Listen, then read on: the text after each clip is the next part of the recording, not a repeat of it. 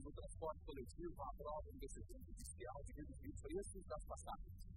Prefeitura diz que agora cabe ao Judiciário a decisão final sobre o valor. Movimentos sociais querem tarifa ainda mais barata em Porto Alegre. Rio Grande do Sul é um dos estados brasileiros com maior número de recolhimento de armas.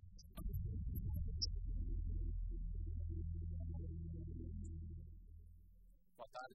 A partir de hoje, o valor cobrado no transporte coletivo de Porto Alegre volta ao preço da tarifa anterior de R$ 2,85 nos ônibus e R$ 4,25 nas lotações. O aumento foi suspenso por uma decisão judicial os usuários de ônibus que chegavam pela manhã ao centro de Porto Alegre aprovaram a liminar que derrubou o valor da tarifa de R$ 3,05 e obrigou o retorno da passagem para R$ 2,85 na capital. Olha, achei que que o aumento é absurdo, né? O problema não assim, né? Eu estava um preço absurdo mesmo. A decisão da Justiça também beneficiou os usuários das lotações. A tarifa retornou ao valor de R$ 4,25. Voltamos aí com uma, um valor bem acessível no nosso bolso, por enquanto está valendo a pena, mas é, tem toda a parte legal que tem que ser vista. Né? A Prefeitura de Porto Alegre informou que não vai recorrer da liminar. Segundo o presidente da EPTC, agora cabe ao Judiciário a solução do impasse. É, nós tentamos de todas as formas né, subir o processo legal, é, atendemos integralmente a, a, a cautelar do Tribunal de Contas, aplicamos toda a legislação né, e a lei de desoneração fiscal é, é do governo federal que entrou em vigor né, a partir do dia 1 de fevereiro, tudo isso foi contemplado. Agora, como essa decisão, nós vamos aguardar, está né, é, é, nas mãos do Judiciário agora a definição da tarifa. A suspensão do reajuste da tarifa de ônibus em Porto Alegre causou indignação no presidente da Associação dos Transportadores de Passageiros de Porto Alegre, Emílio Roberto dos Reis. Em entrevista coletiva no final da manhã, ele criticou o executivo ao afirmar que a Prefeitura de Porto Alegre está descumprindo uma lei que está em vigor desde 1987, conforme o presidente. O Departamento Jurídico da APP está avaliando se pretende recorrer da decisão Justiça ou se deve mover uma nova ação sobre o preço da passagem e com a suspensão do reajuste das passagens de ônibus, o valor da interação entre os coletivos da capital e o metrô, realizado através do uso dos cartões SIM ou TRI, volta a ser de R$ 4,10 centavos. Milhares de manifestantes foram às ruas na noite de ontem pedindo uma tarifa ainda mais barata. Apesar da redução nas passagens anunciada durante o protesto, eles esperam que o valor seja reduzido ainda mais para R$ 2,60.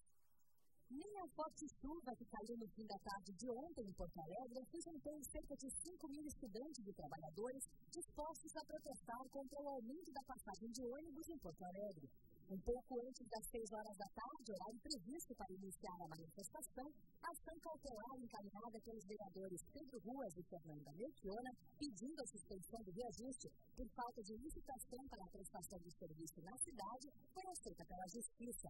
Mas a boa notícia não impediu o protesto.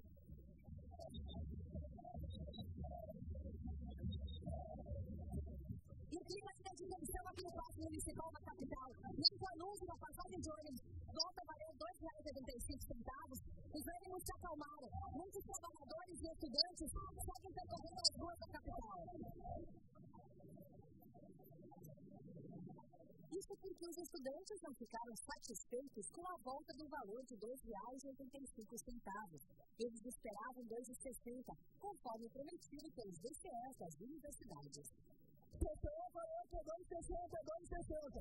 Nós vamos alimentar nosso lucro nesse programa. A gente tem que estudar trabalhar. A gente quer um transporte público, que seja público de verdade. Que uma mãe, um filho e um pai ir à redenção domingo ter que contar 20 reais. É isso que a gente quer. Passagem para todo mundo. Lazer e educação do trabalho. Os manifestantes percorreram várias ruas do centro da cidade sob forte chuva. Durante o trajeto, outras pessoas se integraram ao grupo em defesa da causa. Estou apoiando ali porque, cara, é meio complicado o negócio ali, mas eles estavam fazendo a correria ali. E tentando fazer esse lance para baixar o preço. Né? Mas quem ficou de fora se assustou. Alguns manifestantes estavam alterados e foi preciso proteção policial para evitar atos de violência. Porém, houve novamente depredação do patrimônio público. O descontentamento com o valor da passagem pode gerar novos protestos nos próximos dias.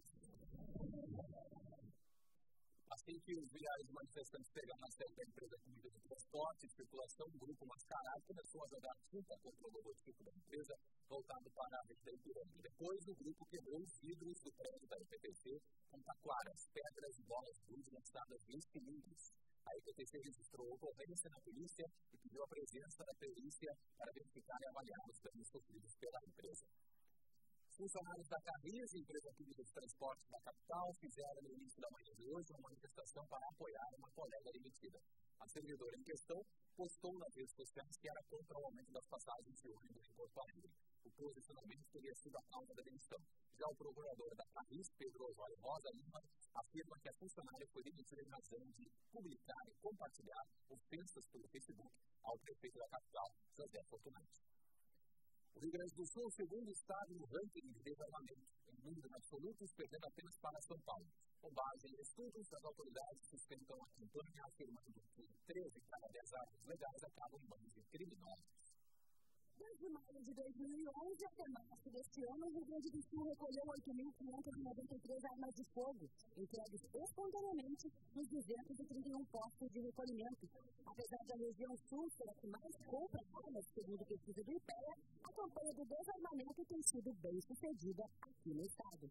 Nós montamos uma rede extremamente capilarizada, é, que não ficou apenas na Superintendência da Polícia Federal e nas delegacias da Polícia Federal é, são 11 é, em todo o Estado, mas também é, postos da Polícia Civil e Brigada Militar, que praticamente cobrem todo o Estado e possibilitam que todos os gaúchos possam fazer essa reprodução e ir lá entregar a sua arma de forma voluntária. Um dado que preocupa as autoridades de segurança pública é que, conforme o Ministério da Justiça, 30% das armas compradas legalmente vão parar nas mãos de bandidos. Tem estudos é, do, do FBI que demonstram que para cada êxito que alguém que utilize de forma defensiva uma arma, há 185 mãos que acabam em mãos da criminalidade. Seja eles as adquirindo, seja eles furtando das residências, o que é extremamente negativo. Que mostra que o controle da venda de armas precisa ser aperfeiçoado. O Estatuto já trouxe mecanismos significativos, mas nós precisamos caminhar ainda mais no sentido de que se, se restringe essa venda para aquelas pessoas que realmente precisam. Veja a seguir. O Gabinete Digital agiliza a definição de políticas públicas do governo do Estado. As possibilidades da democracia digital em debate na capital da UFSC, no Centro Administrativo do Estado, pesquisadores de diferentes países e governantes discutem o tema um canal de participação e diálogo entre governo e sociedade.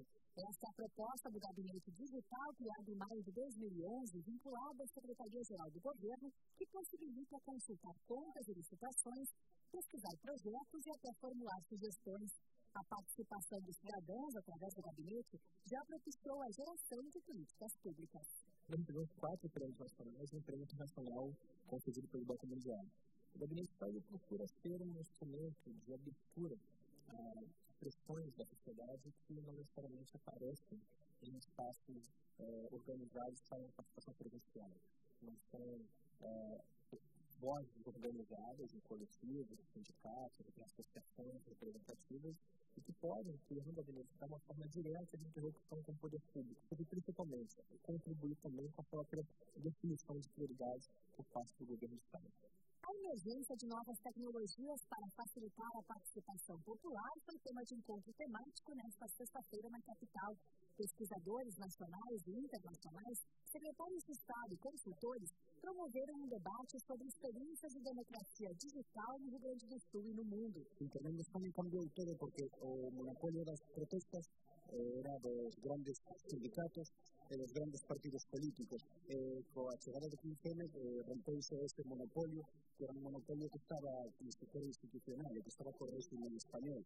había una crisis, pero gente no salía a protestar porque los sindicatos no convocaban protestas. Eh, a partir de que informe, la gente se llama imprecisa que los sindicatos convoquen protestas porque la gente puede se autoconvocar.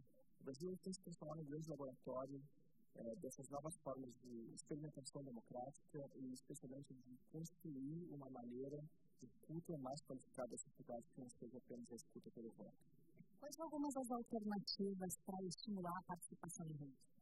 A participação em rede ela passa necessariamente pelo aumento da infraestrutura, de tecnologia, pelo, barateamento desse acesso à internet, pela capacidade de velocidade que tem de tráfego, especialmente pelo, pelo processo de é, educação para a cidadania Durante o evento foi realizado um Team Commons, uma espécie de reunião digital em que diversos ativistas de todo o mundo participam simultaneamente através da rede, uma iniciativa inédita que permite interagir e compartilhar ideias e projetos.